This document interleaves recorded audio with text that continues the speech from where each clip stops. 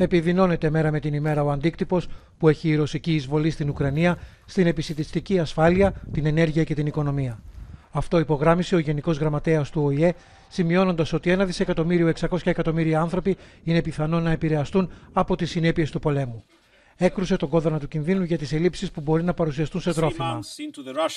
Τρεις μήνες μετά τη ρωσική εισβολή στην Ουκρανία, αντιμετωπίζουμε μια νέα πραγματικότητα. Για όσους βρίσκονται στο πεδίο των μαχών, η καθημερινότητα φέρνει νέα αιματοχυσία και πόνο.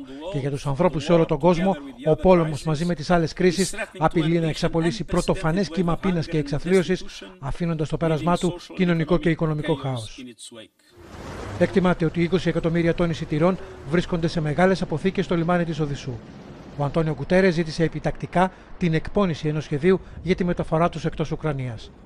Στην Άγκυρα, πάντως, οι συνομιλίες ανάμεσα στη Ρωσία και την Τουρκία ολοκληρώθηκαν χωρίς αποτέλεσμα.